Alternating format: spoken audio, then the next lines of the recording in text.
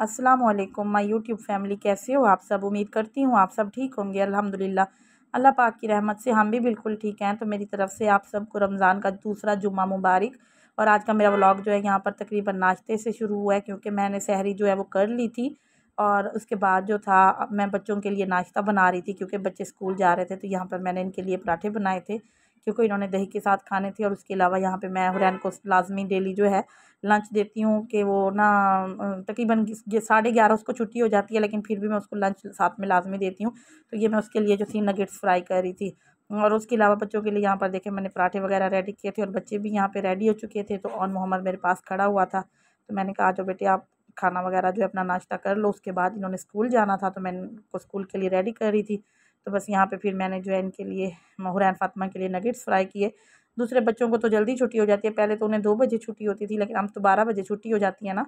रमज़ान की वजह से तो वो लंच नहीं लेके जाते, सिर्फ़ ही लेके जाती है। वो छोटी है ना तो वो कहती है कि मामा मतलब मुझे लंच लाजमी दिया करे। तो वो बस लेके जाती है फिर। तो यहाँ पे बस मैं फिर बच्चों को नाश्ता करवा रही थी, मैं इनके लिए दही डाल रही थी। और उसके अलावा जो था, फिर मैंने हुरैन के लंच बॉक्स में जो है केचप डाल के दिया था।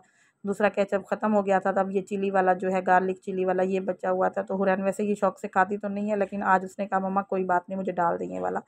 तो मैंने उसको दे दिया, उसके अलावा यहाँ पर जो थे, बाकी सारे बच्चे जो थे, वो बैठे नाश्ता कर रहे थे, और यहाँ पे हुरैन को जो है, मैं नाश्ता करवा रही थी, मैंने इसे खुद खा मतलब नाश्ता करवाया।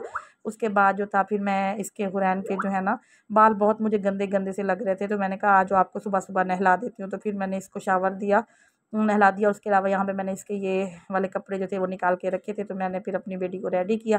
और यहाँ पर देखें सारे बच्चे जो है स्कूल के लिए जाने के लिए रेडी हो गए थे। और यहाँ पर आप ज़रा फरवा की मस्तियाँ चेक करें। और वो कैसे फेस बना रही थी अपने और यहाँ पे खड़ी हुरैन को चिढ़ा रही थी। क्योंकि बच्ची वो छोटी है ना तो सुबह सुबह थोड़ा उसका मूड ऑफ़ होते हैं तो ये सारे उसको चिढ़ाते हैं। तो मैंने कहा कि आप ऐसे नहीं करो। तो आ, मतलब बहना है छोटी फिर मैं उनको समझा रही थी। तो बस उसके बाद जो था फिर वो लोग चले गए थे। फिर दोपहर में जो था ना मैंने यहाँ पे दूध बॉयल किया क्योंकि अम्मी के घर से भी आज आ, मतलब एक डेढ़ किलो दूध आया था और उसके अलावा जो मैंने अपना घर का लिया था वो भी था तो काफ़ी सारा दूध था। तो यहाँ पे फिर मैं ये जो है फेनिया लेके आई थी तो मैंने सोचा कि ये जो है दूध वाली ये बना लेती हूँ सवैयाँ बारीक जो होती हैं मुझे बहुत पसंद है।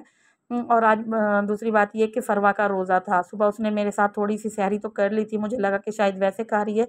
उसके बाद मैंने उसे कहा कि बच्चे दिन में दो दफ़ा रोज़ा रखते हैं आप बारह बजे खोल लो रोज़ा फिर दोबारा से नया रख लो कहती नहीं बस फिर उसने माशाल्लाह पूरा रोज़ा रखा यहाँ पे तो फिर मैं उसके लिए जो थी, आज मैंने कहा बहुत सारी चीज़ें बना लेती हूँ। तो बस यहाँ पे मैं जो थी, फिर मैंने दोपहर में ही दूध वाली सवैयाँ जो थी, उनके लिए बना के रख ली। मैंने कहा जो बाकी बच्चे जिनको रोज़ा नहीं है, वो भी आके चले खा लेंगे और फरवा के लिए भी मैंने बना के तो फ्रिज में रख के ठंडी वगैरह कर ली थी, ताकि शाम को उसका रोज़ा और बच्चे जो हैं फिर वो खुश हो जाते हैं ना, ऐसी मतलब कस्टर्ड हो या इस तरह की चीज़ों पर खीर वगैरह बनी हो तो उनको बहुत पसंद है। तो बस ये मैं फिर उसके लिए मैंने यहाँ पे सवैयाँ वगैरह बना के रखी। और दूसरी बात ये कि आज मेरे जो मतलब हस्बैंड थे, वो आज जॉब पर थे, घर पे नहीं थे और मुझे बहुत सारी चीज़ें लेनी थी, लेकिन फिर मजबूरी के तहत नहीं जा सकती थी। बस फिर मैंने क्या सोचा कि मैं तो जैसे कैसे गुजारा कर लेती, आज कोई मसला नहीं था कि आज ज़्यादा चीज़ें ना खा लेते मतलब खाते, थोड़ा बहुत खा लेते, लेकिन फिर फरवा का रोज़ा था, उस और उसका ज़िंदगी में फ़र्स्ट रोज़ा था। तो मैंने सोचा, नहीं, मैं उसका तो ऐसे इफ्तार नहीं करवाऊँगी, फिर मैं और मेरा बेटा जो थे, और मोहम्मद, हम लोग पैदल ही चले गए। घर के पास ही शॉप्स वगैरह हैं। थोड़ा सा दूर है तो हम लोग पैदल ही चले गए ग्रॉसरी करने के लिए। तो मुझे जाते हुए फरवा ने बोला था, मम्मा, मेरे लिए जूस लाजमी लेके आना। तो यहाँ पे मैं फिर जूस की बोतल जो थी वो लेके आई थी। मैंने कहा, चले, सारे बच्चे जो हैं वो भी जूस पी लेंगे। उसके अलावा फ्रूट चाट मैंने बनानी थी क्रीमी चाट जो होती है तो उसके लिए मुझे स्ट्रॉबेरी चाहिए थी और थोड़े से बनाना चाहिए थे। तो यहाँ पर ये मैंने बनाना और ये स्ट्रॉबेरी जो है ये ले ली थी, क्योंकि एप्पल वगैरह जो थे वो थोड़े से पड़े हुए थे। एक दो एप्पल थे। मैंने कहा, चले फ्रूट चाट तो बन जाएगा ना। और इसके अलावा यहाँ पे मैंने तरबूज लिया था। और मोहम्मद ने कहा कि, मम्मा, मुझे बहुत अच्छा लगता है तो आप ये मुझे लेके दें। और यहाँ पर ये देखें, ये अपनी कज़न के साथ बहुत मस्तियाँ कर रहे थे बच्चे और उसको जूस पिला रहे थे और वो कह रही थी कि, मुझे पिलाओ, ये दूध है, मैंने मतलब पीना है। तो बस उसके अलावा जो था, फिर मैंने बच्चों के लिए ये तरबूज यहाँ पे जो था, कट करके ना तो वो आइसक्रीम वाला बॉक्स जो होता है, मैंने उसमें डाल के तो ठंडा होने के लिए रख दिया था, क्योंकि मैंने कहा, बाकी चीज़ों में भी इसकी स्मेल ना हो और ठंडा भी हो जाए, क्योंकि बाहर पड़ा पड़ा तो ये ठंडा नहीं होगा। तो बस यहाँ पे मैंने हाफ़ जो था तरबूज कट करके तो इस डब्बे में डाल के रख दिया था। उसके अलावा बाकी सारे फ्रूट्स जो थे, यहाँ पे मैंने टोकरी में रख दिए थे। स्ट्रॉबेरी वॉश करके रख दी थी फ्रिज में। तो बस यहाँ पे बाकी फ्रूट वगैरह मैंने रख दिया उसके अलावा जो था, फिर मैंने सब्ज़ियाँ वगैरह कट की यहाँ पे पकौड़े बनाने के लिए, दही बड़े बनाने के लिए। और इसके अलावा यहाँ पे वैसे ये डेली काम तो मेरे हस्बैंड का होता है। फ्रूट वगैरह वही कट करते हैं और फ्रूट चाट भी वही बनाते हैं डेली मैं नहीं बनाती क्योंकि बाकी चीज़ें, बाकी जो काम होते हैं, मैं वो कर लेती हूँ। तो लेकिन आज वो नहीं थे, मजबूरी थी तो बस सारे काम फिर मुझे खुद ही करने थे। तो यहाँ पर बैठी मैं जो थी एप्पल कट कर रही थी फ्रूट चाट बनाने के लिए, और यहाँ पर देखे फिर मैंने सारे फ्रूट्स कट कर लिए बनाना एप्पल तो मैंने इसमें थोड़ी खजूरें भी डाली थी, और उसके अलावा स्ट्रॉबेरी भी थी, और जो था, थोड़ी सी मैंने उसमें चीनी ऐड की, और उसके बाद जो था ये मैंने ऑलपर वालों की क्रीम जो ये बहुत मतलब थिक सी होती है, फिर मैंने इसमें थोड़ा सा पानी ऐड करके ना तो इसको अच्छे से मिक्सचर बना के तो मैंने इसमें डाल दिया था। और उसके ऊपर फिर मैंने हल्का सा जो था ना चाट मसाला स्प्रिंकल मतलब स्प्रिंकल कर दिया था। तो मतलब बहुत अच्छी बनी थी हमारी जो चाट थी फ्रूट चाट, क्रीमी चाट जो थी। उसके अलावा यहाँ पे मैं दही बड़े बना रही थी तो यहाँ पे मैंने फिर इसमें दही में जो है चाट मसाला डाल के तो इसको अच्छे से फेंट लिया था। उसके अलावा मैंने फिर इसमें वो जो दूसरे पकौड़ियाँ जो होती हैं मतलब वो मैंने इसमें डाल दी थी और उसके अलावा बाकी सारी सब्ज़ियाँ वगैरह डाल के तो यहाँ पे हमारे दही बड़े भी रेडी हो गए थे। तो मैंने सोचा जो हल्के फुल्के काम है वो मैं पहले कर लेती हूँ और बाद में जो है ना, पकौड़े जो है वो मैं लास्ट में बनाऊँगी क्योंकि ठंडे हो जाते हैं। और रोज़े के टाइम तक ही मतलब बिल्कुल जाके वो बन जाएँगे रेडी हो जाएँगे।